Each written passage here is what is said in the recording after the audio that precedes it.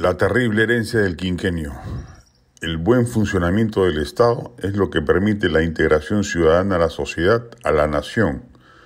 Cuando se generan marginalidades, como sucede en algunos países desarrollados con las comunidades migrantes, u ocurre en nuestro país con la inmensa mayoría de peruanos, se genera en automático disidencia, malestar, fastidio con el statu quo.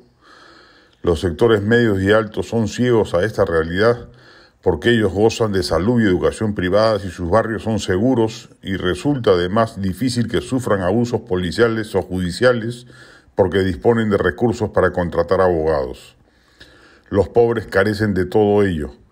Los colegios a los que mandan a sus hijos son un desastre en infraestructura y en calidad socializadora. Los hospitales de salud o de salud son una fábrica de indolencia e indiferencia criminal.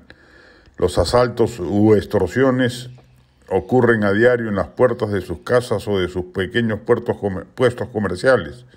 Los policías, fiscales y jueces abusan de ellos sin ningún empacho porque no tienen las herramientas mínimas para defenderse. Las cárceles por ello están llenas de pobres.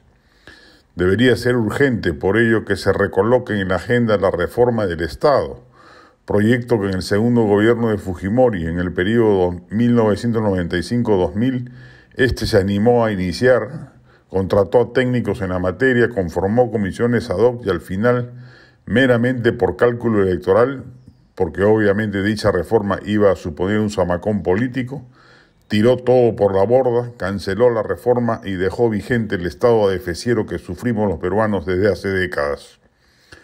Las cosas, sin embargo, no pintan bien. Castillo, sin duda, no va a hacer dicha reforma. No debe ni entender de qué se trata.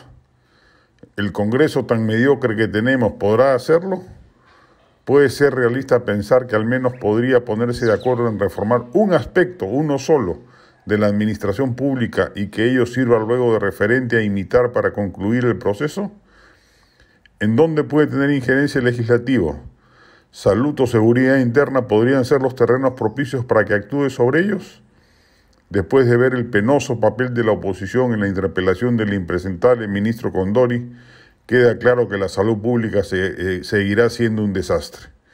En educación, transporte reforma política, allí nuestro Congreso va, va más bien a contramarcha.